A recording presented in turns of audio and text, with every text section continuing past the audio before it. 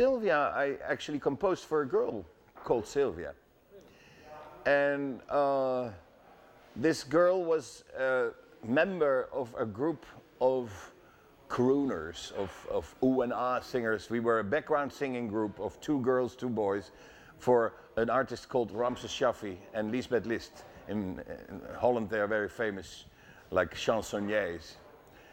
And uh, there was one little item every evening that our little group could do a solo.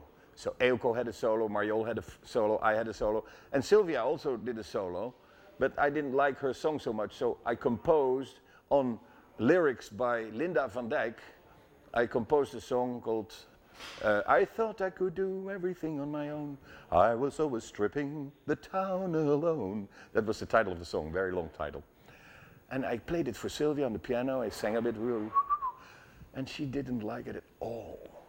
Oh no, she hated the song. So the song went on the, on the shelf. And a few years later, Focus recorded it and it became a world hit.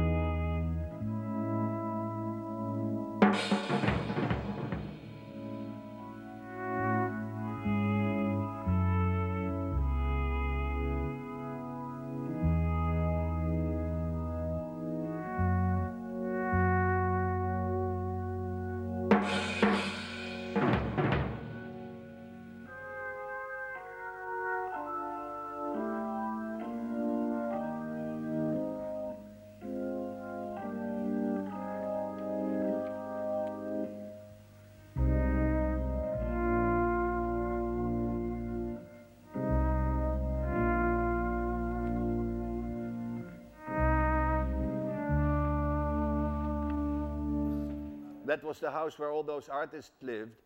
And there was one lady that was like the, the boss. What was Ge- Gertrude Stein in the beginning of the 20th century in Paris for Picasso, for Dali? She was like a queen mother. So she had this castle, Mary Colson, she was called. And Mary welcomed everybody who had to do anything with art. If it was films, it was sculpturing, uh, musicians. And I began a liaison with her.